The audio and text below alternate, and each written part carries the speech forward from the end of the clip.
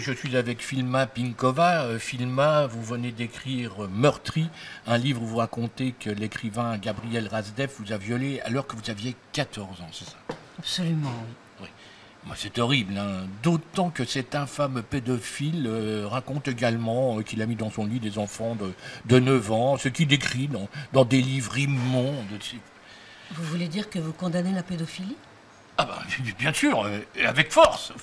Ah bon Pa- Parce qu'en 1988, euh, quand vous étiez présent à l'émission Annie Croche où Gabriel Razdev était invité, euh, vous étiez mort de rire quand il décrivait son attirance pour des enfants.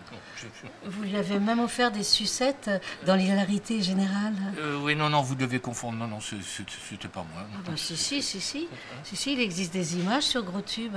Il, il suffit juste Non, de, je, je de vois que vous êtes encore dans la douleur. Je vois que vous êtes encore dans la douleur. De toute façon, l'essentiel dans ce genre d'affaires, en plus, c'est de pardonner, film. C'est c'est le pardon. Le pardon. Et Francis Kunz pour le Zapoy.